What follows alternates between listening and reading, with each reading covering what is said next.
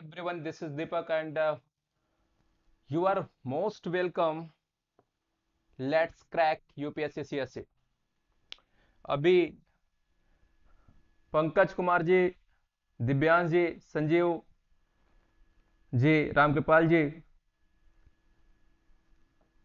श्रवण जी युवराज जी जुड़ चुके हैं तो चलिए स्टार्ट कर लेते हैं ठीक है आज का जो टॉपिक है और काफ़ी समय से चल रहा है। This is budget topic is budget जैसा we are low about this topic budget and this is me Deepak Singh as you can see here, i have done msc with physics. My teaching experience is 15 years. 15 वर्षों से मैं 15 year से मैं लगातार एक continuous पढ़ा ही रहा हूँ। और यहाँ पे 8 ईयर से मैं पिछले 8 ईयर से सीएससी यानी सिविल सर्विसेज़ एग्ज़ाम के लिए दिल्ली के वेरियस इंस्टीट्यूशन मुखर्जी नगर और करोल बाग में क्लासेज लिया है, क्या मेरी वे होगी टीचिंग की? फटाफट वे देख लेते हैं, सबसे पहले अपन क्या करेंगे? किसी कंसेप्ट को पढ़ेंगे, उसके बाद उस कंसेप्ट से रिलेटेड करंट अफेयर को अपडेट करेंगे। करंट अफेयर को अपडेट करने के बाद, इसके बाद प्रीवियस ईयर का क्वेश्चन करेंगे। प्रीवियस ईयर का क्वेश्चन करने के बाद कुछ नए क्वेश्चन करेंगे। और ये हमारा तरीका होगा। मतलब हमने टॉपिक ढंग से पढ़ लिया, हमने करंट अफेयर से अपडेट भी कर दिया रिलेट भी कर दिया।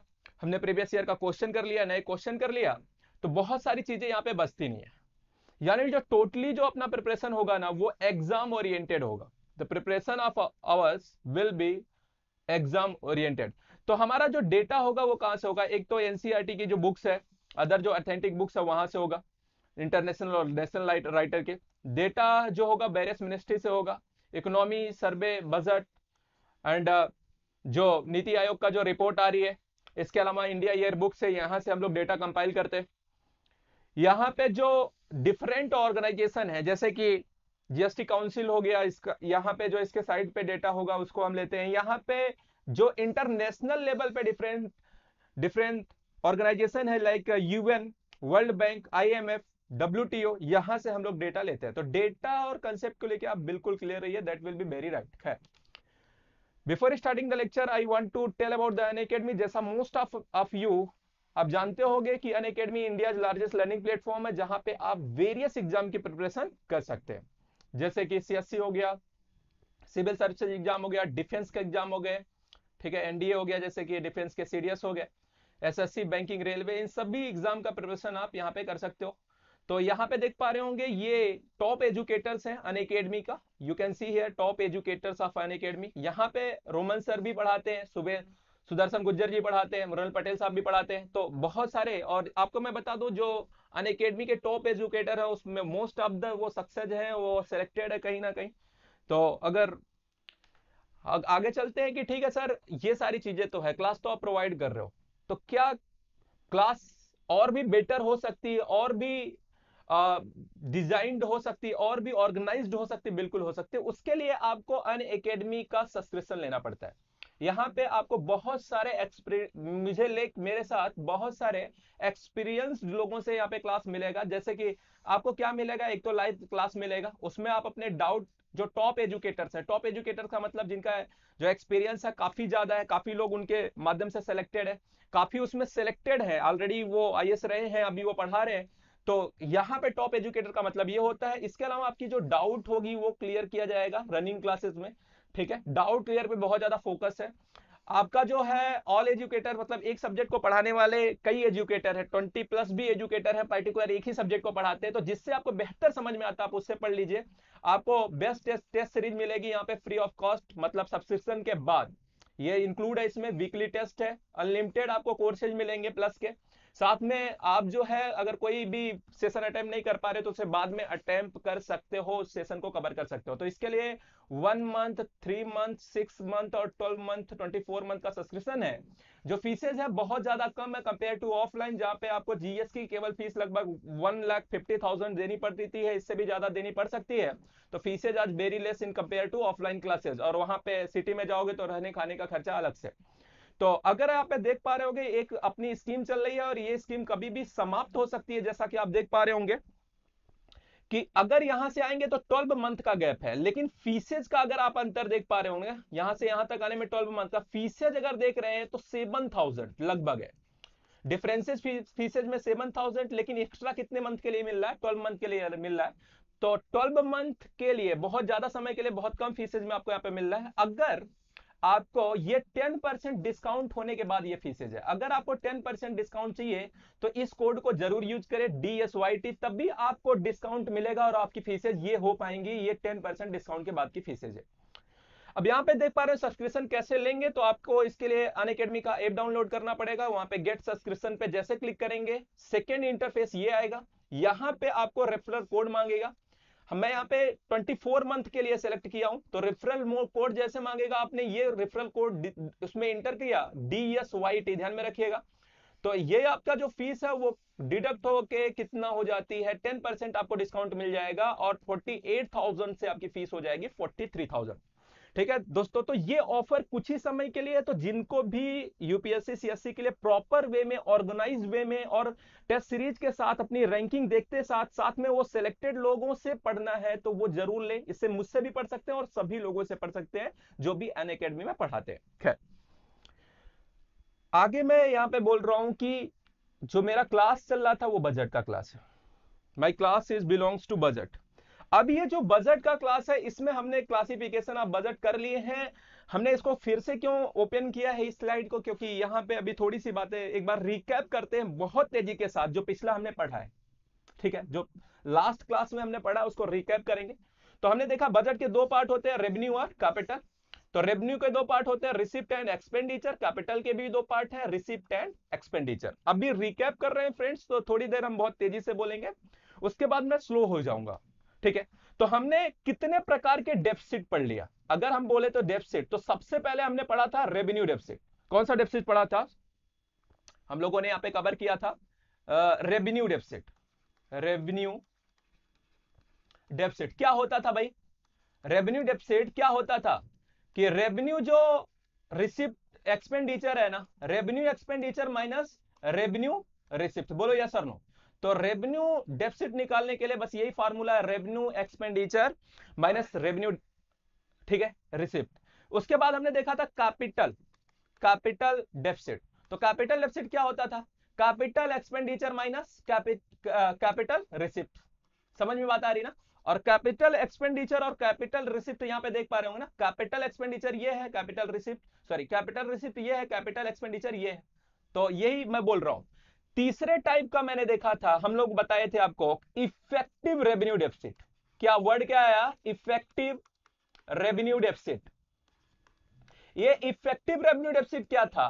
कि अगर आप रेवेन्यू डेफिसिट में से रेवेन्यू डेफिसिट में से अगर आप सब्ट्रैक्ट करते हैं grant given to the state grant to given to state अगर आप इसे सब्ट्रैक्ट करते हैं तो आपको क्या मिलेगा? इफ़ेक्टिव रेवेन्यू डेफिसिट और नेक्स्ट था फ़िज़िकल डेफिसिट क्या था? फ़िज़िकल डेफिसिट ये क्या था? Total total expenditure minus total receipt बोलो यस नो यही तो हमने लास्ट लेक्चर में पढ़ा था। हाँ आप टोटल एक्सपेंडिचर को यहाँ पे ये बोल सकते हो कि physical expenditure minus physical receipt भी बोल सकते तो टोटल एक्सपेंडिचर अगर आप स्लाइड में देख पा रहे हो तो टोटल एक्सपेंडिचर क्या होगा? एक तो रेवेन्यू टाइप का एक्सपेंडिचर दूसरा कैपिटल टाइप का एक्सपेंडिचर तो टोटल एक्सपेंडिचर मतलब रेवेन्यू टाइप का एक्सपेंडिचर और कैपिटल एक्सपेंडिचर और टोटल रिसिप्ट का मतलब रेवेन्यू टाइप की रिसिप्ट और कैपिटल टाइप की रिसिप्ट बोलो यस और नो तो total receipt minus total expenditure से यस और नो तो यहाँ पे हम लोग बात कर रहे हैं अभी फ़िज़िकल फ़िज़िकल डेफिसिट की बात कर रहे हैं। और वहाँ पे हमने बात कर लिया total expenditure minus total receipt भाई बहुत जल्दी से बस रिकैप कर रहे हैं। लास्ट जो लेक्चर हमने लिया है। इसके बाद हमने पढ़ा था बजट डेफिसिट बजट डेफिसिट में भी क्या होता है? Total expenditure minus total receipt total expenditure minus total same आपने बताया फ़िज़िकल डेफिसिट के लिए सेम आपने बताया बजट डेफिसिट के लिए, लेकिन लेकिन लेकिन, जो फ़िज़िकल डेफिसिट होता है सॉरी फ़िज़िकल डेफिसिट होता है ना, उसमें मार्केट की जो बारोइंग है ना, जो बारोइंग है, खासकर जो बारोइंग है। किसकी बारोइंग है? इंडियन गवर्नमेंट की जो बारोइंग है, इसको इंक्लूड नहीं किया जाता है किसमें? फ़िज़िकल डेफिसिट में। और बजट डेफिसिट में इंडियन गवर्नमेंट की जो बारोइंग होगी ना, इसे इंक्लूड किया जाता। है यही हमने लास्ट लेक्चर में पढ़ा था। बोलो यस सर नो ठीक है। तो ये हमने लास्ट लेक्चर में जो पढ़ा था, उसे बहुत तेज़ी के साथ अभी क्या कर लिया? रिकैप कर लिया, एक बार रिवाइज कर लिया। चलिए आगे चलते हैं धीरे धीरे करके, है ना? हाँ। तो ये अपना लास्ट लेक्चर में पढ़ा था। इसी पे जो लास्ट लेक्चर में हमने पढ़ा था, उस पे यहाँ पे क्वेश्चन आया हुआ है आईएएस का क्वेश्चन ये प्रीवियस ईयर का क्वेश्चन है। ठीक है सीएससी में इस पे क्वेश्चन दिया गया। समझते हैं? अब इसमें प्रीवियस ईयर का यूपीएससी का क्वेश्चन है, इसमें देखिए तो यहाँ पे क्या है? कि आपको मैच करना था फ़र्स्ट से सेकंड को। आप बड़े आसान सी, आसानी से सोच के थोड़ा घर पे सोचिएगा, आप इसे कर पाएँगे, ठीक है? तो इस क्वेश्चन को आप आराम से क्योंकि मैंने यहाँ पे थोड़ी देर स्लाइड को रोक दिया है, आपने जो कंसेप्ट प्रीवियस लेक्चर में पढ़ा है, उससे यूज़ करके इसे करने का प्रयास करिएगा और आंसर आंसर आंसर आंसर ज़रूर कमेंट सेक्शन में दीजिएगा, ठीक है? आंसर देना इज़ आंसर करना बहुत ही ज़्यादा इंपॉर्टेंस रखता है। चलिए आगे चलते हैं। हम लोगों का ये था लास्ट लेक्चर में हम लोग एक स्टोरी शुरू किए थे कि अगर डेफिसिट होता है ना, अगर घाटा होता है ना तो वो किसी देश के लिए अच्छा नहीं होता है। चाहे इंडिया हो पाकिस्तान हो पाकिस्तान की हालत तो देखो जरा। क्या दिक्कत है? इतना ज़्यादा उसने बारोइंग कर लिया इतना ज़्यादा वो डेप्थ में चल रहा है, इतना ज़्यादा उसे घाटा हो रहा है कि अभी वो किसी से पैसा उधारी माँगता है ना मनी को अगर वो बारो करना चाहता है ना तो जल्दी उसे देते नहीं है। और अगर देते भी हैं तो इंटरेस्ट रेट क्या लेते हैं? ज़्यादा लेते हैं ना? बोलो यस सर नो और प्रीवियस लेक्चर में हमने पढ़ा था कि ऐसे देश या ऐसी कंपनी जिनकी फाइनेंशियल कंडीशन वीक होती है, कमज़ोर होती है उनका क्रेडिट रेटिंग क्या कर हो जाती है? कम हो जाती है। क्रेडिट मतलब जो उधारी ले रहे हैं ना, उसकी रेटिंग क्या हो जाती है? कम हो जाती है। एग्जांपल लेते हैं। जैसे कल भी हमने एग्जांपल लिया था कि जिस मूवी में का रेटिंग कम हुआ ना, उसको लोग देखने कम जाते हैं। उसी प्रकार से जिस देश की क्रेडिट रेटिंग कम होती है, उसे जल्दी कोई उधारी नहीं देता लैंड मनी नहीं करता है उस कंट्री को। समझ में बात आ रही? और क्रेडिट रेटिंग एजेंसी भी हमने देखा था। साथ में रिस्पेक्ट भी उस देश की क्या हो जाती है खराब हो जाती है जैसे कि अभी पाकिस्तान के केस में आप देख सकते हो। रिस्पेक्ट उसकी क्या है? खराब है। क्यों? क्योंकि उसकी फाइनेंशियल कंडीशन क्या है? सही नहीं है। एक बड़ी वजह है कि उसका रिस्पेक्ट क्या है वर्ल्ड में थोड़ा सही नहीं है। चलिए देखते हैं, आगे चलते हैं। आगे चलते हैं। तो कल के लिए मैंने बताया कि जब भारत में डेफिसिट होने लगा, जब इन हम लोगों को रियलाइज़ हुआ कि यार deficit is not good for a country because की उसके वेरियस रीजन है ऑलरेडी हम लोग डिस्कस कर चुके हैं कि अगर डेफिसिट सही नहीं है तो गवर्नमेंट लेके आई, कौन सा एक्ट लेके आई? F R B M act कौन सा एक्ट लेके आई? F R B M act लेके आई। और इसको, इसका फुल फॉर्म क्या होता है? एफ़ आर बी एम का। वो ऑलरेडी हम डिस्कस कर चुके हैं। ऑलरेडी आप प्रीवियस लेक्चर में जाए एफ़ आर बी एम जो एक्ट है, इसका फुल फॉर्म देखे आप वहाँ पे जाके, क्या है एफ़ आर बी एम 2018 में इसमें आईएस में क्वेश्चन आ चुका है ऑलरेडी तो F R B M act लेके आई, कौन लेके आया? इंडियन गवर्नमेंट लेके आई। क्या करेगी दोस्तों इससे? इससे भारत में जो डेफिसिट है ना, जो डेफिसिट है, ध्यान में रखिए एक एक चीज़ें सुनिए। हो सकता है इसी वाले एग्ज़ाम्स में, इससे इस आज जो टॉपिक है, बहुत इंपॉर्टेंट है, बहुत ज़्यादा इंपॉर्टेंट है सीएससी एग्ज़ाम के लिए। तो इसी वाले जो अभी आ रहा है सीएससी एग्ज़ाम इसी टॉपिक से हो सकता है क्वेश्चन पूछ दे, क्योंकि बहुत ज़्यादा इंपॉर्टेंस रखता है सीएससी के लिए, खैर। चलिए, यहाँ पे मैं बात कर रहा हूँ, यहाँ पे मैं बात कर रहा हूँ कि गवर्नमेंट चूँकि डेफिसिट जो है वो एक कंट्री के लिए सही नहीं है। घाटा अगर ज़्यादा हो गया गवर्नमेंट को तो वो सही नहीं है। तो उसको कंट्रोल करने के लिए 2003 में गवर्नमेंट लेके आई एफ़ एक्ट जिसको ऑलरेडी हम लोग कवर कर चुके हैं। उसके दो कंपोनेंट है, वो भी ऑलरेडी हम कवर कर चुके हैं। खैर, उससे ऑलरेडी क्वेश्चन उससे भी आ चुका है। तो यहाँ पे मैं बोल रहा हूँ कि इसमें हमने टारगेट लिया। हमने क्या लिया? टारगेट लिया। कब? 2003 में। कब? जब ये एक्ट आया। क्या हमने टारगेट लिया? क्या हमने कस्में खाई उस समय? हमने कस्में खाई, हमने कस्में खाई कि 2008 तक हमें क्या करना है? जो रेवेन्यू डेफिसिट होगा ना, उसे जीडीपी का ज़ीरो परसेंट कर देना है। कब तक? 2008 तक हमने कसम खाई थी। उसके बाद सेकेंड कसम हमने क्या खाई थी? सेकेंड हमने टारगेट क्या लिया था कि जो फ़िज़िकल डेफिसिट होगा ना, उसे जीडीपी का कितना परसेंट कर देंगे? थ्री परसेंट कर देंगे। कब तक कर देंगे? 2009 तक कर देंगे। ऐसा हमने कसम खाई और इसके लिए हमने F R B M act लाया। दोस्तों, आपको पता होगा कि जो F R B M act है physical responsibility and budget management act 2003 में जो लेके हम आए, वह जो एक्ट आया था दोस्तों, उससे हमने ये टारगेट रखा था कि ये कंप्लीट करेंगे। लेकिन कस्में तो अक्सर टूट जाती है ना। कस्में अक्सर टूट जाती है। आगे चलिए, देखिए इंडियन गवर्नमेंट जो कसम यहाँ पे खाई है, जो टारगेट लिया है, उसमें ये फेल हो जाएगी उसे फुलफिल नहीं कर पाती है। क्यों नहीं कर पाती है? क्योंकि 2001 में एक प्रॉब्लम आता है। क्या? प्रॉब्लम क्या आता है? ग्लोबल फाइनेंशियल क्राइसिस आती है। जिसे हम सब प्राइम क्राइसिस के सब प्राइम क्राइसिस के नाम से भी जानते हैं। कहाँ पे आती है? यूएसए में आती है। ये सारा सेशन थोड़ा सा हम लोग ऑलरेडी डील कर चुके हैं इसलिए मैं थोड़ी तेज, से बता रहा हूँ इसको। आगे चल के अपनी समझ थोड़ा बनाएँगे। ये तो ऑलरेडी हमने ये दो टॉपिक कल ही इसका टॉप कुछ पार्ट हमने इस टॉपिक का कल ही कवर कर लिया था। बहुत इंपॉर्टेंट हो सकता है आपके एग्ज़ाम में। मैं ये कह रहा हूँ कि आई थी ग्लोबल फाइनेंशियल क्राइसिस कहाँ पे यूएसए में। लेकिन इससे हुआ क्या? कल के लेक्चर में देखा था, इससे जो इंडियन गवर्नमेंट का रेवेन्यू था ना, वो कम हो गया था। कम क्यों हो गया था? क्योंकि इंडियन कंट्री का जो एक्सपोर्ट हो रहा था कहाँ पे? यूएसए में, वो क्या हो गया? कम हो गया।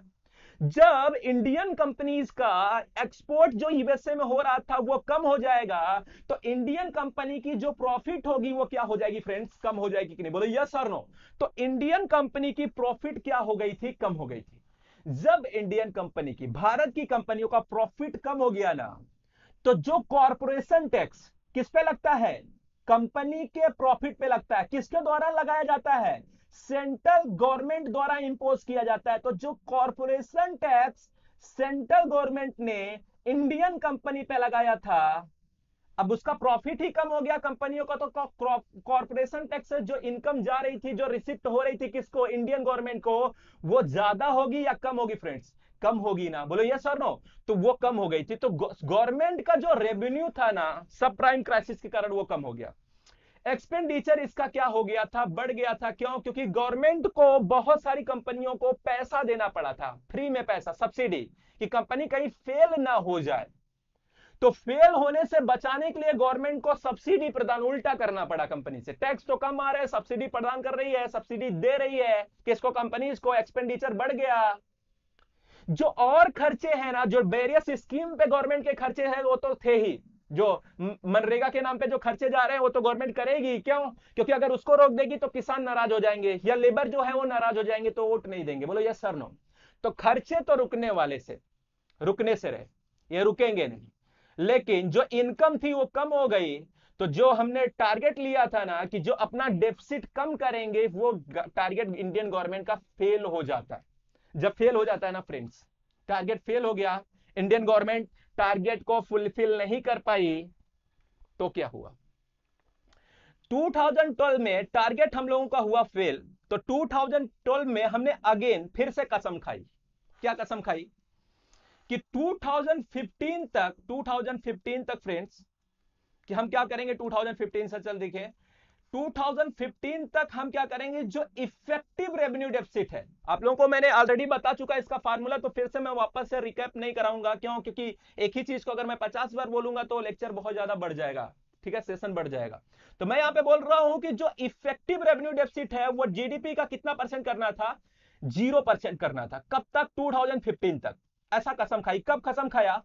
कब टारगेट लिया? टू में। और साथ में जो रेवेन्यू डेफिसिट है ना, उसे गवर्नमेंट ने कहा कि हम जीडीपी का कितना कर देंगे? टू परसेंट कर देंगे। कब तक कर देंगे? 2015 तक कर देंगे। लेकिन लेकिन, इसमें भी ये फेल हो गई। अगेन इट फेल जब ये फिर से कसम अपना निभा नहीं पाती इंडियन गवर्नमेंट तो होता क्या है? लगता है जो अपने गवर्नमेंट है, उसे लगता है कि यार कुछ ना कुछ तो गड़बड़ है। अब कुछ ना कुछ तो करना पड़ेगा। तो गवर्नमेंट ने कहा कि ऐसा करते, एक कमिटी सेटअप करते।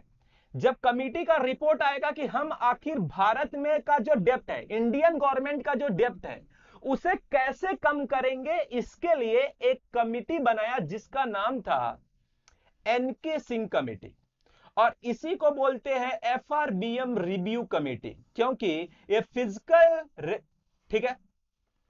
एफ़ आर बी एम जो एक्ट है उसके तहत इसे घाटे को क्या करना है? डेफिसिट को क्या करना है? कम करना है। ना बोलो yes sir no F act के रिगार्डिंग क्योंकि F R B M act का जो टारगेट ही है, वो क्या है? घाटे का कम करना। दूसरा टारगेट क्या है? इकोनॉमी में स्टेबिलिटी लाना। तीसरा टारगेट क्या है? उसके बहुत सारे ऐसे टारगेट है कि ग्रोथ रेट बना रहे डेवलपमेंट प्रॉपर होता रहे। यही तो टारगेट है ना F physical responsibility and budget management act का यही तो टारगेट है ना दोस्तों। तो ये कब किया गया? 2016 में। एक कमिटी का सेटअप किया गया कि अच्छा एक बात बताओ यार, कि कमिटी का सेटअप किया गया और उनसे पूछा गया कि आप बताओ कि ऐसे कौन कौन से डिसीज़न इंडिया में लिए जा सकते हैं जो भारत में डेप्ट को क्या कर देंगे? कम कर देंगे डेप्ट को क्या कर देंगे? कम कर देंगे इंडियन गवर्नमेंट की। और साथ में एक और भी बात बताओ, ये जो हमने ऐसा टारगेट लिया है टू परसेंट फोर परसेंट ऐसा टारगेट नहीं। क्योंकि मार्केट में क्या है वर्ल्ड में क्या है अप डाउन होते रहते हैं इकोनॉमी में तो आप थोड़ा फ्लेक्सिबल टारगेट बनाओ फ्लेक्सिबल जो फ्लैक्चुएशन के समय भी थोड़ा उतार चढ़ा हो तो अपना डेप्ट थोड़ा कंट्रोल में रहे। तो इसके लिए क्या लेके आए F R B M act का रिव्यू करने के लिए N K Singh committee very important committee for CSC examination इसको आप ध्यान में रखिएगा N K Singh committee N K Singh committee ने रिकमेंडेशन अच्छा एक और भी यहाँ पे क्वेश्चन आता है कि एनके सिंह कमेटी किसके अंतर्गत बनाई जाती है? तो आप लोगों को पता है बजट कौन बनाता है? फाइनेंस मिनिस्ट्री फाइनेंस मिनिस्ट्री के अंदर कौन कौन डिपार्टमेंट बनाता है? Department of economic affair department of economic affair ही तो बजट बनाती है ना? बोलो yes sir no department of economic affair यही क्या बनाती है फ्रेंड्स यही तो बजट बनाती है ना? और यही इकोनॉमी सर्वे बनाती है, और यही इस कमेटी को भी बनाई थी, ठीक है?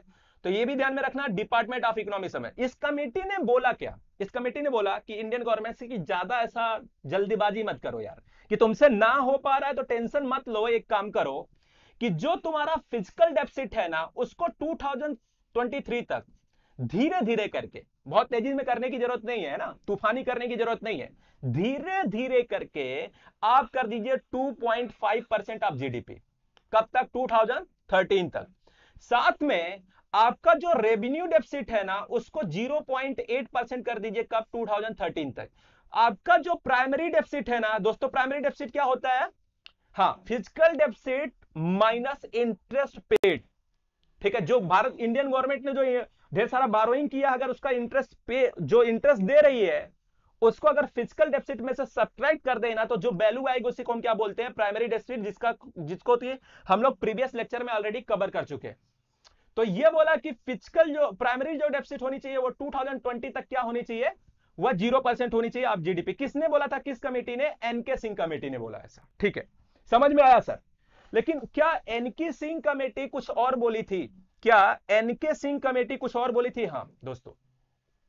ये बोले थे कि जो जनरल गवर्नमेंट है ना, जनरल गवर्नमेंट का मतलब समझिए, कहीं पर भी न्यूज़पेपर में, आपके बजट में, आपको इकोनॉमी सर्वे में कहीं पर ऐसा लिखा हो जनरल गवर्नमेंट तो इसका मतलब समझ लीजिएगा, स्टेट गवर्नमेंट और सेंट्रल गवर्नमेंट दोनों की बात की जा रही है, ठीक है? नहीं तो अगर सेंट्रल गवर्नमेंट के बारे में कोई लिखा रहेगा तो ऊपर लिखा रहेगा सेंट्रल गवर्नमेंट, या स्टेट गवर्नमेंट के तो समझ में बात आ रही ना, जनरल गवर्नमेंट का मतलब होता है कि दोनों का गवर्नमेंट यानी स्टेट वाली भी और सेंट्रल वाली कंबाइन करके हम क्या बोलेंगे? जनरल गवर्नमेंट तो बोले कि अगर हम देखें तो जब ये कमेटी बनाई गई, और जब कम कमेटी बनाई गई थी 2016 में, और इसने अपना रिकमेंडेशन कब दिया था, सुझाव कब दिया था? 2017 के जनवरी महीने में। लेकिन अभी इतना हमें फैक्चुअल चीज़ें याद नहीं रखना कि कब इसका रिकमेंडेशन आ गया, क्यों? क्योंकि बहुत पुराना है तो अपने करंट अफेयर में भी बहुत ज़्यादा काम का नहीं है अभी। लेकिन हाँ ये पता होना चाहिए एनके सिंह कमेटी, ये पता होना चाहिए एफआरबीएम ठीक है? एक्ट रिव्यू कमेटी ये आपको पता होना चाहिए। तो ठीक है सर, आपने ये बता दिया। ठीक है, आपने ये बता दिया। तो जरा एक बात बताइए कि ये जो एफ़ रिव्यू कमेटी थी और क्या रिकमेंडेशन अगर आप देखोगे दोस्त नाम कि जो जनरल गवर्नमेंट थी, यानी स्टेट और सेंट्रल को दोनों को मिला के इनकी जो डेप्ट थी ना डेप्ट कब तक? 2018 सॉरी 17 के आसपास 17 के पास पास अगर इनकी डेप्ट देखोगे तो ये 70 परसेंट थी किसकी? जीडीपी की। किसकी? जो जनरल गवर्नमेंट है। जनरल गवर्नमेंट का मतलब क्या है? स्टेट गवर्नमेंट और सेंट्रल गवर्नमेंट ठीक है? तो अब देखिए, अगर इतना ज़्यादा डेप्ट है जनरल गवर्नमेंट पे अगर 70 परसेंट डेप्ट है जीडीपी का तो ये सही नहीं है। तो क्या करना है? इस कमेटी ने बोला कि ऐसा करो, जो आपका डेप्ट है ना, जो आपने बाहर से या जो अंदर से जनता से जो बारोइंग किया है ना गवर्नमेंट, आप अपने डेप्ट को क्या करो? कम करो। भारत सरकार, आप अपनी डेप्ट को क्या करो? कम करो, क्योंकि डेप्ट is not a good thing for a country ठीक है? तो ये ऐसा किसने रिकमेंड किया? किसने रिकमेंड किया? एनके सिंह कमेटी ने। ठीक है? समझ में आता है सर तो आप कैसे डेप्ट करो, कम करोगे? आप इसे क्या करो 70 परसेंट से क्या कर दो, इसे 60 परसेंट कर दो। डेप्ट को क्या कर दो 70 परसेंट से 60 परसेंट। दोस्तों, मैं आपको बताऊँ, आज का जो लेक्चर है ना, इसे ढंग से तैयार करना ही पड़ेगा। क्यों? क्योंकि इससे क्वेश्चन आने के मैक्सिमम चांसेज है। इसलिए ढंग से अभी मैं वापस से थोड़ी बहुत चीज़ें रिकैप करता हूँ, करवाता हूँ आपका। मैं यहाँ पे कह रहा हूँ कि जनरल गवर्नमेंट ने का उस समय जो 2017 में जो डेप्ट था ना, वो 70 परसेंट था किसका? जीडीपी का। उसको एनके सिंह कमेटी ने क्या बोला? या एफआरबीएम रिव्यू कमेटी ने क्या बोला कि आपको 70 परसेंट से कम करके कहाँ तक आना 60 परसेंट किसका? जीडीपी का करना है। समझ में बात आ रही? तो कैसे करोगे कि सेंट्रल गवर्नमेंट तुम एक काम करो कि सेंट्रल गवर्नमेंट यहाँ पे थोड़ी सी 60 परसेंट किसका है? सेंट्रल गवर्नमेंट का। और 40 परसेंट किसका कौन करेगा? सॉरी यहाँ पे थोड़ा सा कि 60 परसेंट करना है। यहाँ पे देखिएगा ढंग से, सेंट्रल गवर्नमेंट कितना करेगी? तो सेंट्रल गवर्नमेंट करेगी 40 परसेंट अपने डेप्ट को और स्टेट गवर्नमेंट कितना करेगी? तो स्टेट गवर्नमेंट करेगी 20 परसेंट। कौन से गवर्नमेंट? State government. जो डेप्ट होगा ना, उसको सेंट्रल गवर्नमेंट कितना करेगी? वह 40 परसेंट करेगी। और स्टेट गवर्नमेंट कितना करेगी, वो करेगी ट्वेंटी परसेंट। ध्यान में रखना, ये किसने बोला था? एफआरबीएम रिव्यू कमेटी ने बोला था। कब बोला था? 2016 में बोला था। समझ में आ रहा? 17 में बोला था, जब उसने अपना रिकमेंडेशन दिया किसको? गवर्नमेंट को। बनी कब थी? 2016 में बनी थी। लेकिन हमें 2016 2017 नहीं याद रखना है, क्योंकि ये अपने काम का नहीं है। लेकिन हाँ हमें पता होना चाहिए कि उसने क्या बोला था, क्यों? क्योंकि 2018 में पर क्वेश्चन पूछ दिया। 2017 में जनवरी महीने में इसका रिपोर्ट आया एफआरबीएम रिव्यू कमेटी का। और 2018 में इसमें क्वेश्चन पूछ दिया। अभी क्या लेटेस्ट के अपडेट होते हैं, वो भी हम देखेंगे। चलिए एक बार देखना शुरू करते हैं। ये देखिए, ये मैंने एक फिगर आपको दिया है। ये फिगर मैंने इकोनॉमी सर्वे से लिया है, आज इसी वाले, ठीक है, जो अभी लेटेस्ट का है 2019-20 का इकोनॉमी सर्वे आपको पता होगा बजट किसके लिए बनता है? Budget is for next year next year के लिए बनता है। और जो इकोनॉमी सर्वे होता है, वो किसके लिए बनता है? प्रीवियस ईयर के लिए होता है, ठीक है? प्रीवियस ईयर मतलब जो ईयर अभी खत्म हुआ उसका। क्योंकि सर्वे तो हम उसी का करेंगे ना, जिसके बारे में कुछ जानते रहेंगे, कुछ जिसके बारे में कुछ डेटा रहेगा। अब कुछ जानते ही नई न्यू ईयर में कुछ पता नहीं क्या होने वाला तो सर्वे किसका करोगे?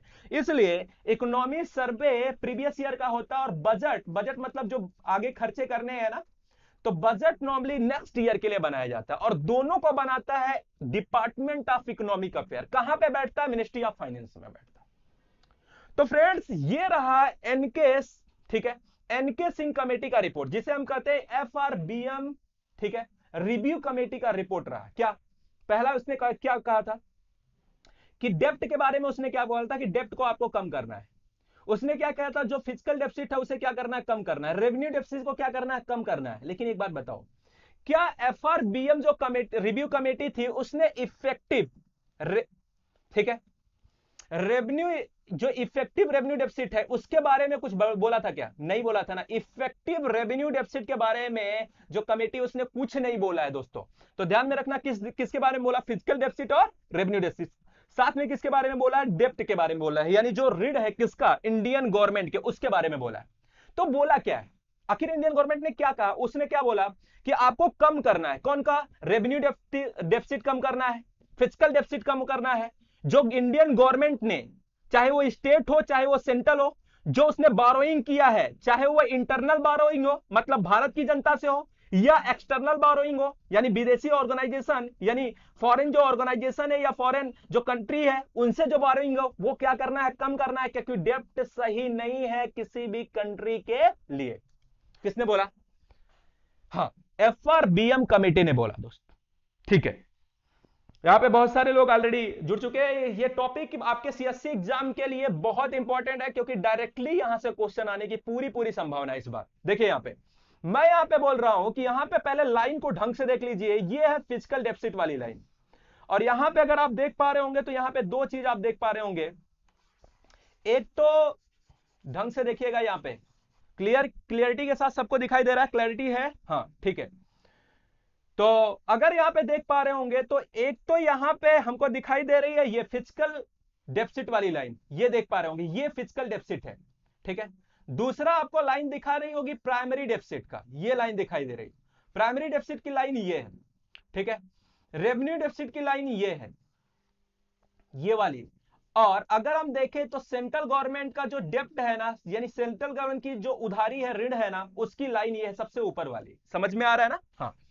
अब दूसरी बात हम देखेंगे कि ये जो ये जो है, ये छोटे वाले जितने भी, ठीक है डेप्ट है उनके लिए।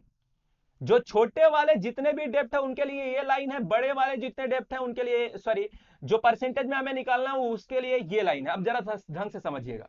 जो डेफिसिट हो रही है ना, कौन सी फ़िज़िकल डेफिसिट पहले हम इसकी बात करते हैं। फ़िज़िकल डेफिसिट अगर देखेंगे तो 2018-19 से हमने धीरे धीरे क्या किया है, कम किया है। और अभी के समय में जो 2020 21 यही तो हमारा नेक्स्ट होगा ना। 20 चल रहा है 21 में क्या होगा ये ईयर खत्म होगा ना फिनिश कब होगा? 21 में फिनिश होगा ना। शुरू कब से हुआ है?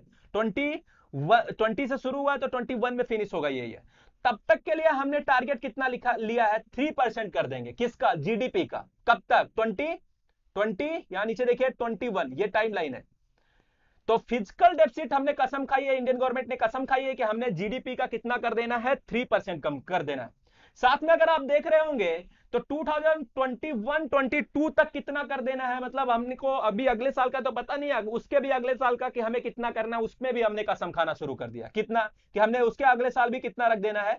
कितना रख देना है? थ्री परसेंट किसका? जीडीपी का। ये किसने कसम खाई है? इंडियन गवर्नमेंट ने कसम खाई है ऐसा, कि हम करेंगे। ठीक है, करिए आप। दूसरा चीज़ अगर आप देख रहे होंगे तो प्राइमरी डेफिसिट प्राइमरी डेफिसिट जरा देखिए यहाँ पे।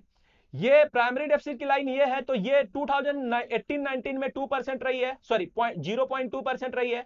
1920 में 0.2 परसेंट रही है। 2021 में, यानी नेक्स्ट ईयर में हमने कसम खाई है कि इसको ज़ीरो कर देंगे, ठीक है? लेकिन हमारी जो, दोस्तों, यही तो हमारा टारगेट था ना, यही तो बोला था, किसने बोला था? सोच के बताइए।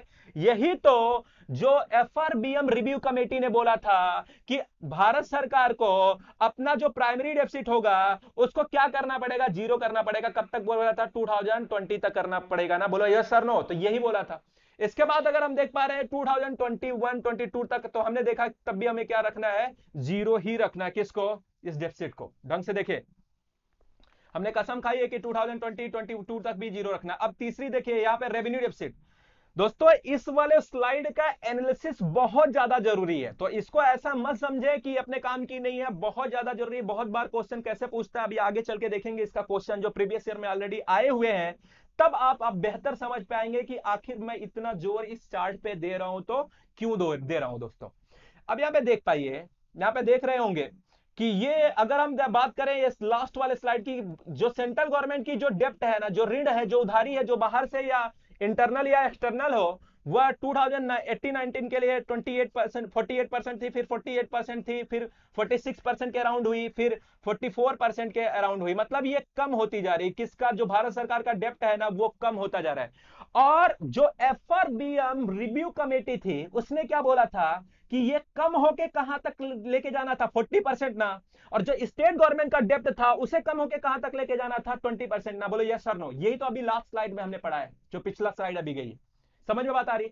तो इंडियन गवर्नमेंट बहुत करीब है 40 परसेंट अपने डेप्ट को करने के। बहुत करीब है कि वो 40 परसेंट डेप्ट को कर पाएगी। लेकिन अभी देखते हैं, कब तक करना था? वहाँ पे टारगेट कब तक था? 2023 तक करना था। तो अभी अब उसमें टाइम है दोस्तों। चलिए आगे चलते हैं।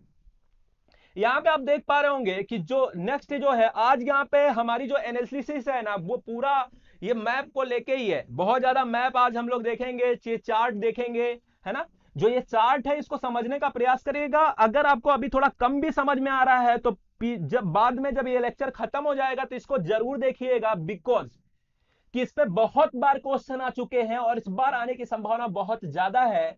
तो इस चार्ट को बार बार देख के समझ लीजिएगा कंसेप्ट बहुत ज़्यादा इसमें रटना नहीं है। रटना कुछ ही डेटा है कि हाँ टारगेट क्या है। रटना बहुत ज़्यादा नहीं है डेटा को, हर डेटा को रटना मत शुरू कर दीजिएगा, नहीं तो बहुत ज़्यादा डेटा हो जाएँगे, फिर संभाल के बाहर हो जाएँगे। तो बस आपको समझना है और समझ के हिसाब से आप आंसर दे पाओगे कि जैसे कि अभी एक क्वेश्चन का आंसर हम लोग करने वाले, क्वेश्चन अभी करने वाले खैर। तो मैं यहाँ पे बता रहा हूँ कि ये जो है, ये जो आपको ब्लू लाइन में दिखाई दे रहा है, ब्लू लाइन में जो यहाँ पे आप देख पा रहे होंगे, यह है भारत इंडियन गवर्नमेंट का डेप्ट, सेंट्रल गवर्नमेंट का डेप्ट है, ठीक है? कौन सा? इंटरनल वाला, देखिए, सॉरी, ये इंडियन गवर्नमेंट का डेप्ट है। तो अभी मैंने जैसा कि बताया कि अभी का जो समय चल रहा है 2018-19 में तो अगर आप देख पा रहे हो तो डेप्ट काफ़ी ज़्यादा कम हो गई है। ठीक है? कितना हो गया? 44 परसेंट के अराउंड हो गया। यही तो हमने बात किया। और हमने कसम खाई है सॉरी अगर हमने कसम खाई है कि अभी हमने आगे भी इसको क्या करना है नेक्स्ट ईयर में क्या करना है कम करना है। लेकिन यहाँ पे वैसे स्टार्ट का केवल एक चीज़ दिखाना था फ्रेंड्स यहाँ पे जो है इस ला, इस लाइन में इस पूरे एक्सिस पे एक्सटर्नल डेप्ट की बात कर रहा है। किस डेप्ट की बात कर रहा है? जो भारत सरकार ने विदेशी गवर्नमेंट से लिया है। तो जरा देखिए जो भारत सरकार है ना, विदेशी गवर्नमेंट से बहुत कम डेप्ट लेता है। देख पा रहे हैं? Two percent two two point something percent two point five percent और ये बहुत ज़्यादा कम है। किसका two point five percent GDP का। तो इस पूरे इस पूरे स्लाइड का ये मतलब है कि इंडियन गवर्नमेंट जो बारो करती है ना तो इंटरनल जो बार बारो करती है, यानी भारत के अंदर जो बारो करती है, वो मैक्सिमम करती है। जो हम फॉरेन से फॉरेन कंट्री से या फॉरेन इंस्टीट्यूशन या फॉरेन ऑर्गेनाइजेशन से जो बारो करते हैं ना वो बहुत ज़्यादा कम करते हैं। आर यू गेटिंग मी फिर से समझिए इंडियन गवर्नमेंट इंडिया के अंदर ज़्यादा बारो करती है बहुत ज़्यादा बारो करती है बल्कि compare to compare to external डेप्ट जो बाहर से हम लोग बाहर करते हैं। बा, बा, बारो करता कौन? इंडियन गवर्नमेंट चलिए देखते हैं। अगर इंडियन गवर्नमेंट की टोटल लाइबिलिटी देखेंगे ना, टोटल लाइबिलिटी जो इंडियन गवर्नमेंट को पे करना है तो वो है 84 लाख करोड़ रुपीज़ नियरली बल्कि आप इसे क्या बोल सकते हैं? 85 lakh crore rupees total liability total जो इंडियन गवर्नमेंट को देना है, ठीक है? जिसने, उसने पैसे ले रखा है, जिसको देना है। जिसमें क्या है? आप यहाँ पे देख पा रहे होंगे। जो मार्केट से बारोइंग किया है, सब इसमें है। आराम से एक एक करके देखिएगा, ठीक है? घर पे देखिएगा, इसमें ये बहुत स्लाइड इंपॉर्टेंट नहीं है, लेकिन आप यहाँ पे ध्यान में रखिएगा कि इंटरनल जो डेप्ट होती है इंडियन गवर्नमेंट की, वो ज़्यादा होती है कंपेयर टू एक्सटर्नल एक्सटर्नल बहुत ज़्यादा कम होती है। बाहर से हम लोग ज़्यादा उधारी नहीं लेते हैं। ये तो अच्छी बात अगला आप देख पा रहे होंगे, यहाँ पे ऊपर ही लिखा है जनरल गवर्नमेंट डेप्ट एंड डेपिसिट जनरल गवर्नमेंट का मतलब क्या होता है फ्रेंड्स सेंट्रल गवर्नमेंट और स्टेट गवर्नमेंट सारी स्टेट के, जो गवर्नमेंट अगर आपस में मिला दे तो हम इसे क्या बोलते हैं? जनरल गवर्नमेंट क्या बोलते हैं इसे? जनरल गवर्नमेंट बोलते हैं फ्रेंड्स तो स्टेट गवर्नमेंट और सेंट्रल गवर्नमेंट में वो आपस में मिला है तो जनरल गवर्नमेंट सो ये कहे जा रहे हैं। जरा सोचिएगा आप। 2014 देख रहे हैं यहाँ पे। 2014 यहाँ पे जो भी डेफिसिट थी, वो काफ़ी ज़्यादा कम थी। लेकिन 2014 के बाद ये डेफिसिट जो है, बढ़ी है बहुत तेज़ी के साथ। ठीक है? लेकिन एक चीज़ हुआ है। 2016 देख रहे हैं। 2016 से जो अभी पहले इसको देख लीजिए ढंग से, ये जनरल यानी सेंट्रल गवर्नमेंट स्टेट गवर्नमेंट का फ़िज़िकल डेफिसिट है यह जनरल गवर्नमेंट का रेवेन्यू डेफिसिट है, और ये जो है उनकी बारोइंग है, ठीक है लाइबिलिटी है। अब देख रहे हैं लाइबिलिटी लाइबिलिटी मतलब येलो लाइन पे आप जाइए तो 2014 में कम थी, उसके बाद बढ़ी है, कब तक बढ़ी है? 2017 तक बढ़ी है, उसके बाद धीरे धीरे क्या हो रही है, कम हो रही है। लाइबिलिटी क्या हो रही है, कम हो रही है। अब जरा देख पा रहे होंगे, यहाँ पे जब दोनों का अगर हम फ़िज़िकल डेफिसिट देखेंगे फ़िज़िकल डेफिसिट यानी सेंट्रल और स्टेट गवर्नमेंट का अगर हम फ़िज़िकल डेफिसिट देखेंगे तो ये धीरे धीरे यहाँ से क्या हो रही है? कम होती चली जा रही है।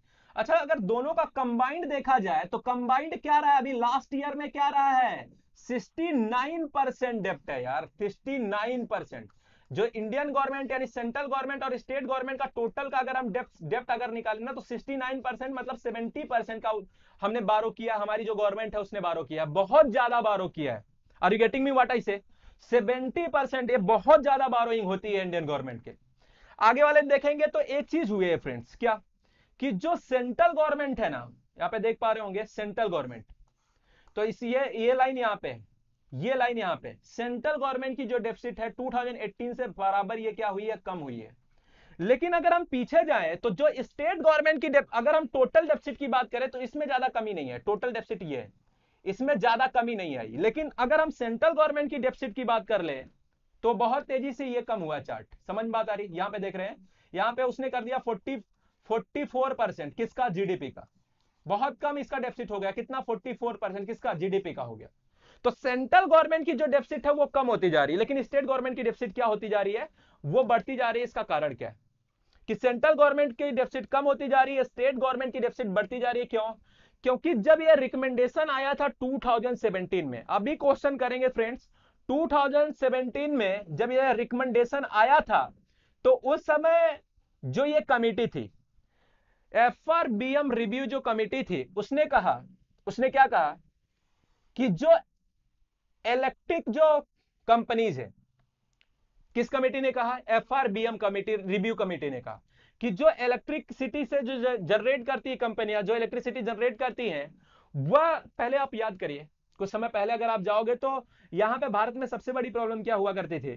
कि लोगों के पास गाँव में विलेजेज एरिया में रूरल एरिया में काफ़ी बार क्या होता था इलेक्ट्रिसिटी आती ही नहीं थी। तो इलेक्ट्रिसिटी क्यों नहीं आ रही है? क्योंकि कंपनियों को बहुत कंपनियाँ बहुत डेप्थ में पड़ी हुई है। डेप्थ मतलब बहुत ज़्यादा बारो कर ली है। क्यों? क्योंकि वहाँ पे इलेक्ट्रिसिटी चोरी क्या प्रॉब्लम तो लोग इलेक्ट्रिसिटी यूज़ तो कर रहे हैं, लेकिन उसका पेमेंट नहीं कर रहे।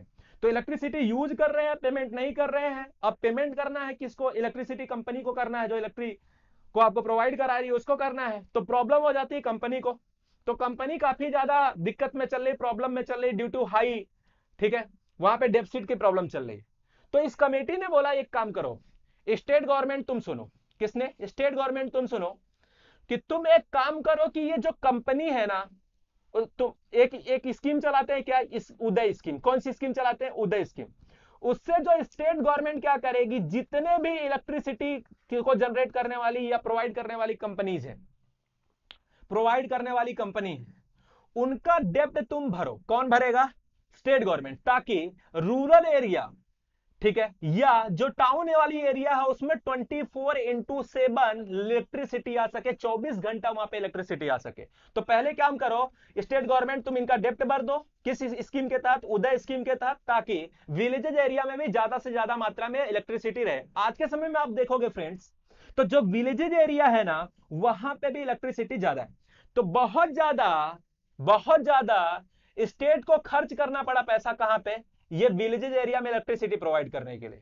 यही वो रीजन है, यही वो रीजन है कि वो जो डेफिसिट को कंट्रोल करना था किसको स्टेट गवर्नमेंट को, उस तरीके से, उस रेशियो में कंट्रोल नहीं कर पाई। और जो यहाँ पे सेंट्रल गवर्नमेंट को बोला गया, किसने?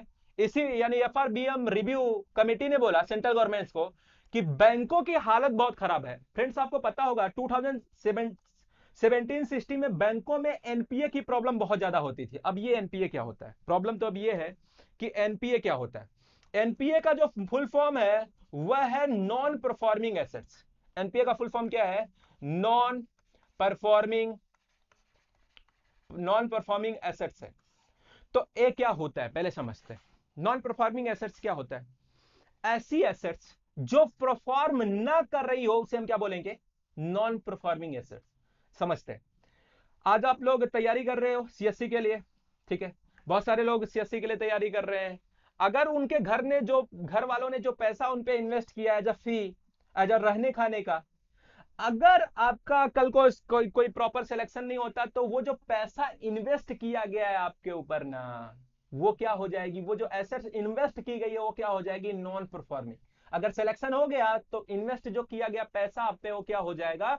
परफॉर्मिंग हो जाएगा। फिर से समझते हैं कि और एग्जांपल लेते हैं। अगर लैंड है, किसी के पास लैंड है, और लैंड से मिल रहा है पैसा, अगर लैंड से पैसा मिल रहा है, मान लीजिए लैंड ऐसा कोई फ़सल उग उग रही है तो फ़सल जब मार्केट में बेची जा रही है तो पैसा मिल रहा है लैंड लॉर्ड को।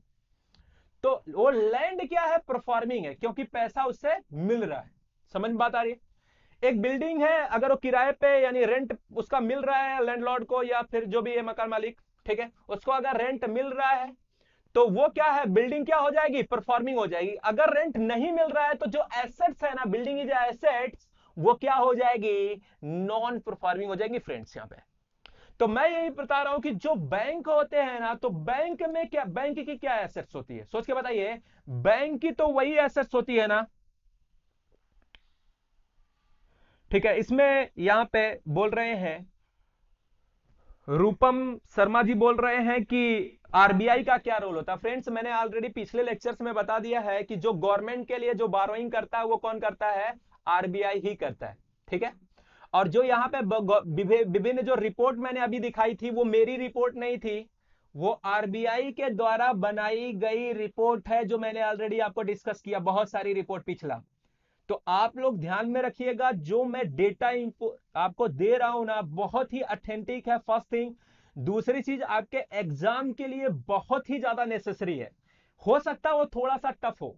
उसको एनालाइज करना, क्योंकि बहुत सारे लोग ऐसा है कि जो कभी चार्ट पे काम नहीं किए हैं, कभी वो, है ना डायग्राम पे एनालिसिस नहीं किए। हो सकता है उनके लिए वो थोड़ा बहुत कठिन हो, लेकिन उसे आपको पढ़ना ही पड़ेगा, तभी आप समझ पाओगे क्या ट्रेंड है, तभी आप आंसर दे पाओगे। नहीं तो ऐसा मज़ाक में तो हम कुछ भी पढ़ सकते हैं, जीएस का उठा के। पढ़ते जाओ पढ़ते जाओ, फिर फ़ायदा उससे ज़्यादा नहीं होने वाला है। तो जिससे आपको पता है कि यहाँ इससे क्वेश्चन आएगा तो उसको तो डेफिनेटली ही पढ़ो, ठीक है? चलिए, मैं यहाँ पे बोल रहा हूँ कि आरबीआई, पिछले लेक्चर में ऑलरेडी इसका जो है हाँ। तो मैंने वही बताया कि जो बारोइंग होती है गवर्नमेंट की, उसमें आरबीआई क्या करती है? रोल पे आरबीआई ही बारो करती है किसके लिए? गवर्नमेंट के लिए। आरबीआई के द्वारा तो आरबीआई क्या करती है? या तो बॉन्ड इशू करेगी मार्केट में, आप लोगों को एग्रीमेंट का पेपर देगी, आप उसको आरबीआई को पैसा दोगे, और पैसा किसके पास गया? गवर्नमेंट के पास। समझ में बात आ रही है? तो आरबीआई का आरबीआई ही लोन लेती है किसके लिए? गवर्नमेंट के लिए। चलिए ऑलरेडी मेरे प्रीवियस लेक्चर मुझसे डील कर रही है। यहाँ पर मैं बता रहा हूँ, यहाँ पर मैं बता रहा हूँ कि री ठीक है स्टेट गवर्नमेंट को तो ये बोला गया कि तुम इलेक्ट्रिसिटी जो कंपनीज़ है, या इलेक्ट्रिसिटी प्रोवाइडर जो कंपनी है, उनको आप जो उनकी लैंड उनकी जो डेप्थ है ना, उनको भरो। किससे बोला गया? स्टेट गवर्नमेंट को ताकि वो विलेजेज एरिया में रिमोट एरिया में टाउन में 24 फोर आवर्स क्या प्रोवाइड कर सकते हैं? इलेक्ट्रिसिटी प्रोवाइड कर सकते लेकिन सेंट्रल गवर्नमेंट से बोला गया कि बैंकों को बहुत सारा पैसा एनपीए में कन्वर्ट हो गया। अभी मैं एनपीए के बारे में बता रहा था तो बैंक की एसेट्स क्या होती है? बैंक जो आपको, यानी जनता को, यानी पब्लिक को जो लेंड करती है ना, उसी को, उसी पैसे को बैंक का क्या कहते हैं? एसेट करते हैं। और जनता के लिए वो पैसा क्या होती है? लाइबिलिटी होती है। बैंक के लिए वही मनी जो बैंक ने लेंड किया किसको? पब्लिक के लिए, वो एसेट्स है। पब्लिक के लिए वो क्या है? लाइबिलिटी क्यों? क्योंकि पब्लिक को देना है रिपे करना है किसको? बैंक को। क्योंकि बैंक से वो क्या ली है? डेप्थ ली है। समझ में बात आ रही है? तो बैंक की एसेट्स क्या है? ये, क्या जो उसने लेंड किया है मनी किसको? पब्लिक को। लेकिन पब्लिक तो दे नहीं रही। हुआ क्या? कि जो बैंकों ने पैसा पब्लिक को लेंड किया पब्लिक ने ना तो इंटरेस्ट दिया, ना ही प्रिंसिपल दिया। खासकर यहाँ पे कंपनी की मैं बात कर रहा हूँ।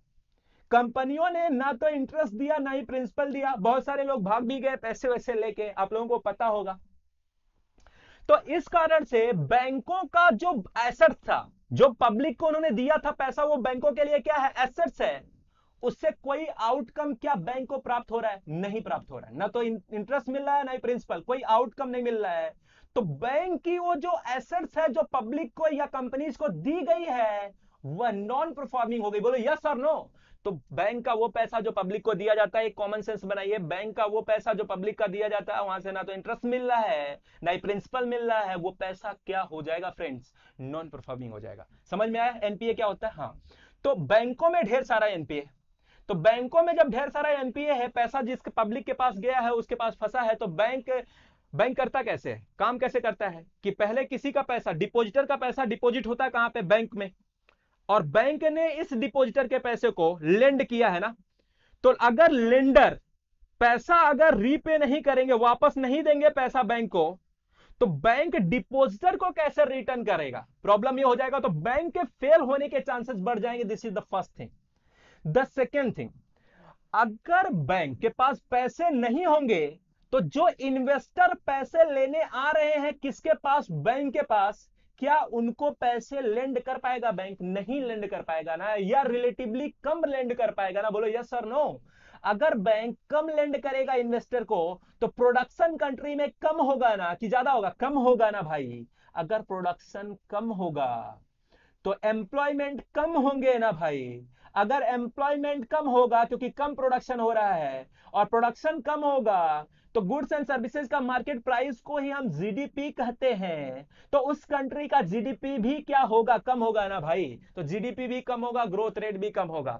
ये बड़ी प्रॉब्लम है एनपीए की। एनपीए को हम प्रॉपर कभी डिस्कस करेंगे, काफ़ी ब्रॉड लेवल पे। लेकिन लेकिन, अभी ये समझो कि इससे ये तो वो पैसा है जो पब्लिक के पास गया कंपनी के पास गया रिटर्न ना तो इंटरेस्ट कर रहे हैं, ना ही प्रिंसिपल वो एनपीए है, ठीक है? दूसरा ये समझो कि इससे जो अभी मैंने प्रॉब्लम गिनाई है, वो प्रॉब्लम्स आती है, ठीक है? सर, समझ में आया? तो अगर एनपीए है तो देश में ये प्रॉब्लम आएगी। तो सेंट्रल गवर्नमेंट ये कमेटी कौन कमेटी एफ़ रिव्यू कमेटी बोल रही है कि ये सेंट्रल गवर्नमेंट सुनो। तुम आपको क्या करना है? सेंट्रल गवर्नमेंट को क्या करना है? यह जो पैसा बैंकों के पास नहीं है, जिससे बहुत सारे बैंकों का फेल होने की कंडीशन है, उसको आप पैसा पे करो, पैसा उसको दो ताकि वो फेल होने से बच जाए और इसी को हम क्या बोलते हैं? रिकैपिटलाइजेशन ऑफ़ बैंक क्या बोलते हैं इसे?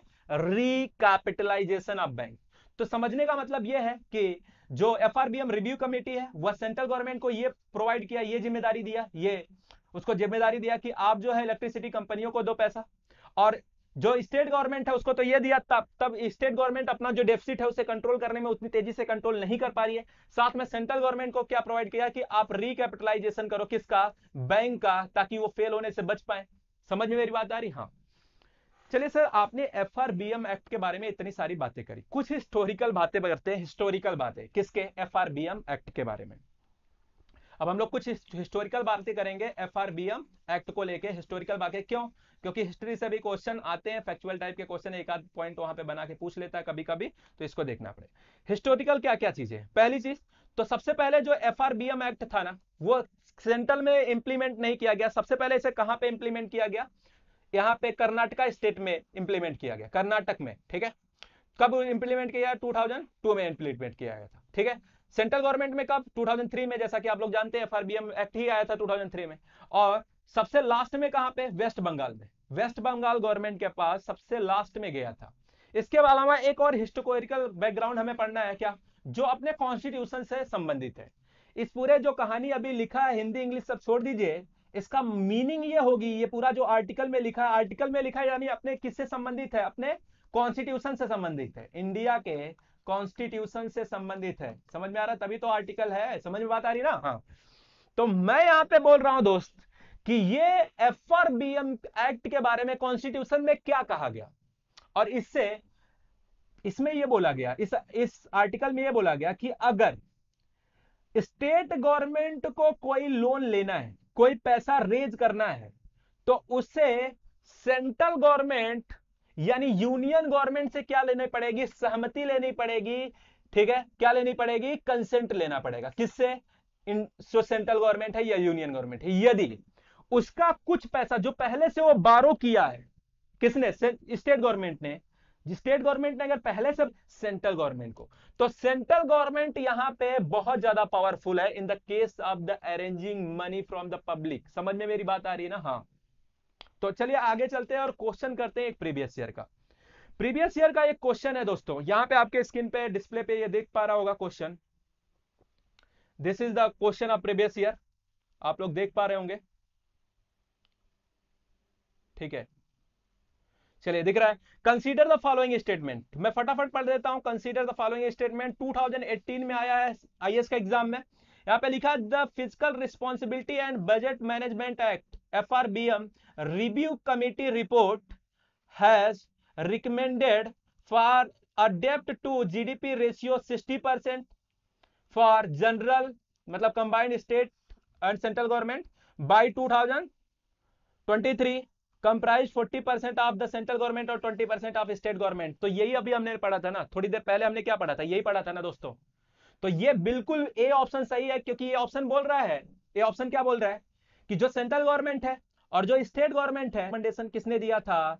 एफ़ रिव्यू कमेटी में दिया था। अभी हम लोग पढ़ चुके सेवेंटी परसेंट से अपने डेप्ट को कहाँ तक लाना है? सिक्सटी परसेंट तक। This is the first thing the second thing कि इसमें क्या होगा कि जो सेंट्रल गवर्नमेंट होगा वो फोर्टी परसेंट कर देगा अपने डेप्ट को, ठीक है? और स्टेट गवर्नमेंट कितना करेगा? ट्वेंटी परसेंट समझ में बात आ रही? तो ये पहला ऑप्शन सही है, जिसको ऑलरेडी हमने पढ़ लिया। लेकिन यहाँ पे उल्टा दे दिया दोस्तों। यहाँ पे क्या दिया है? The central government has domestic liability 21 percent of GDP as compared to that 49 percent of state government इसका उल्टा है। अगर आप भी, आप जाके वहाँ पे डेटा में देखोगे ना तो सेंट्रल गवर्नमेंट के पास कितना है? सेंट्रल गवर्नमेंट का जो डेप्ट है, वह लगभग 49 परसेंट मिलेगा आपको। और स्टेट गवर्नमेंट का जो डेप्ट है, वो कितना मिलेगा? लगभग 21 परसेंट के आसपास मिलेगा। मतलब समझ रहे हैं ना? ये 29 तो सब मिला जुला के ये स्टेट गवर्नमेंट का सेंट्रल गवर्नमेंट और सेंट्रल गवर्नमेंट का स्टेट गवर्नमेंट में दे दिया तो ये गलत है। सी ऑप्शन देखिए जरा C option sorry third statement यहाँ पे देख पा रहे होंगे। As per the constitution of India तो अभी जो हमने पढ़ा है ना, अभी जस्ट पढ़ा है, इसके पहले जो आर्टिकल पढ़ा, वही आर्टिकल यहाँ पे लिखा गया है। तो पहला और तीसरा, ये सही है? यानी सी ऑप्शन यहाँ पे सही है। पहले तो हमें अगर ये पता चल गया कि इसमें फ़र्स्ट स्टेटमेंट सही है फ़र्स्ट स्टेटमेंट सही है तो हमको तो ये पता चल गया कि या तो वन सही होगा, या तो थ्री सही होगा, या तो सी सही होगा, यानी ए सही हो सकता है, सी सही हो सकता है, डी सही हो सकता है। ये तो होगा ही नहीं सही। क्यों? क्योंकि फ़र्स्ट हमें पता है कि सही है और वो बी ऑप्शन में दिया नहीं। तो अगर इस तरह से कि एक एक एलिमिनेट करते हुए जा रहे हैं तो इसे क्या बोलते हैं? Elimination method. क्या बोलते हैं? Elimination method. समझ में बात आ रही है दोस्तों? इसके अलावा दूसरा हमें पता सही है, नहीं है। तो दूसरा अगर नहीं पता तो दूसरा भी केवल इसी में दिया गया। तो इस प्रकार से अपना कौन सा ऑप्शन सही हो जाएगा? सी ऑप्शन सही हो जाएगा। जिन भी फ्रेंड्स को थोड़ी बहुत भी प्रॉब्लम आएगी, कल बजट का लास्ट सेशन होगा प्रोबेबली कल बजट का लास्ट सेशन करेंगे, उसमें क्वेश्चन करेंगे, लेकिन फ्रेंड्स जिनको थोड़ा कम समझ में आया है, उनका बस यही प्रॉब्लम है कि उन्होंने प्रीवियस लेक्चर को प्रॉपर अटेंड नहीं किया है। तो जिनका भी प्रीवियस लेक्चर कंप्लीट नहीं है, वो प्रीवियस लेक्चर कंप्लीट करें, तभी उनका प्रीवियस ईयर के आईएएस के क्वेश्चन हो पाएँगे और तभी उनके नए क्वेश्चन हो पाएँगे जो अभी बजट में आए तो अपने लेवल को बढ़ाने के लिए आपको प्रीवियस ईयर के क्वेश्चन करना पड़ेगा। इसके अलावा फ्रेंड्स एक बहुत इंपॉर्टेंट बात है। क्या? कि हमारा अभी अभी जब जाएँगे तो यहाँ पे हमारा एक क्लास शुरू हो रहा है। ठीक है? अभी आप देख लेना स्पेशल क्लास में, ठीक है सीएससी के स्पेशल क्लास में एक क्लास शुरू हो रहा है, उसमें आप देख लीजिएगा। फाइव फाइव पीएम को एक क्लास शुरू होगा। ठीक है? फोर्टींथ फोर्टींथ अप्रैल को ये शुरू होगा। कहाँ पे होगा? ठीक है, अन अकेडमी प्लस पे होगा तो इसके लिए आप तैयार रहिए। साथ में इस बजट को समाप्त करने के बाद जो नया हमारा क्लास शुरू होगा, वो स्कीम से क्लास शुरू होगा। जैसा कि आपको पता है स्कीम से बहुत सारे क्वेश्चन यूपीएससी के प्रीलिम्स में आते हैं और अदर एग्ज़ाम में भी आते हैं। तो इस दोनों सेक्शन को आप अटेंड करिएगा, आपको बहुत ज़्यादा फ़ायदा होने वाला है। अगर आपको मेरी वीडियो पसंद आती है तो आप लाइक करें। चैनल को सब्सक्राइब करें, साथ में बेल आइकन को प्रेस कर दे ताकि मेरी जो नेक्स्ट नोटिफिकेशन है वो सबसे पहले आपको मिल पाए। जितने भी स्टूडेंट को जो ऑफ़र, यानी टू इयर्स का जो ऑफ़र चल रहा है, वो लिमिटेड समय का है। और जितने स्टूडेंट को अगर सीएससी का एग्ज़ाम देना है और तैयारी करना है तो आप ज़रूर उसको अभी कर लें, क्योंकि उसका समय कब समाप्त हो जाएगा, पता नहीं। तो कोड है डी इससे प्रयोग करने से आपको टेन डिस्काउंट मिल जाएगा। Let's crack UPSC CSC with me thank you very much for watching watching me and supporting me मिलते हैं नेक्स्ट लेक्चर में कल।